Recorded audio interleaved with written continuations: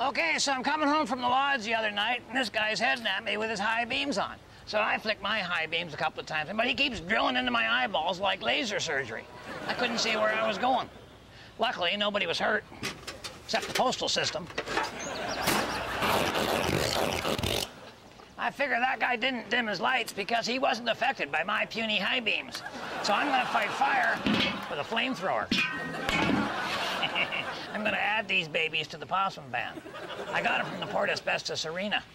Now that hockey's on strike, all they got going on is line dancing, and they're afraid if it's too bright, it'll just look like a bunch of old fat people playing hopscotch. You just mount those on a piece of waterproof plywood. I got this one just up the road.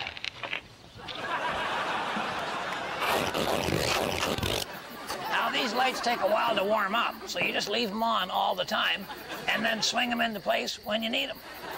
To do that, I used the Himmelman hinge on the front edge and mounted the whole unit on a hockey stick. The blade hangs down inside.